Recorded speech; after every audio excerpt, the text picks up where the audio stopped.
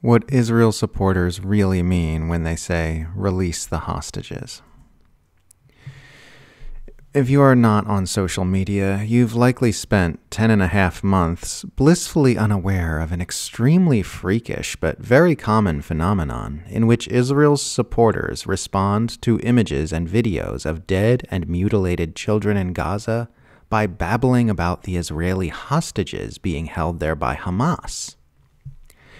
Whenever you see someone sharing raw footage of the most horrific thing imaginable being inflicted upon someone who couldn't possibly have done anything to deserve it, and someone in the replies yelling, Release the hostages, it's important to be clear what they're saying.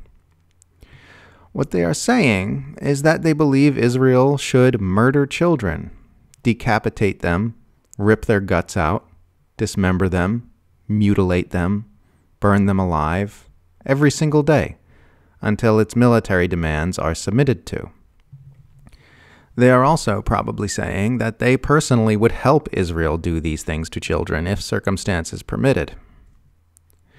They are saying they are fully on board with killing, decapitating, eviscerating, dismembering, mutilating, and incinerating small children every day until the hostages are released.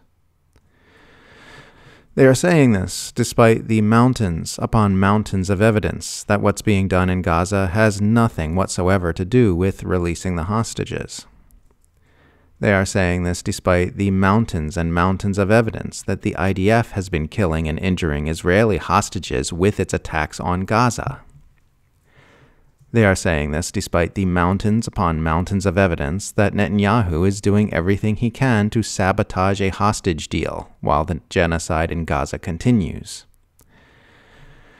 They are saying this despite the fact that Israel holds thousands of Palestinians hostage under administrative detention without due process, and while Israel holds millions of Palestinians hostage in the giant extermination camp known as Gaza.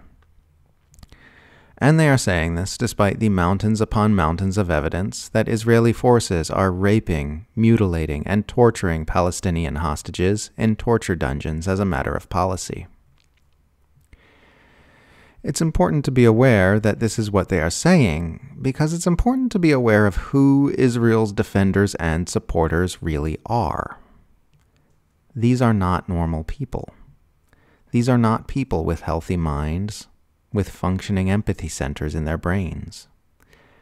There is something deeply, profoundly wrong with who they are and how they are.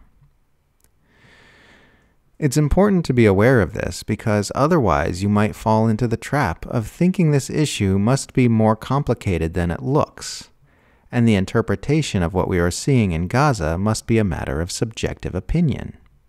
No, that's not true at all.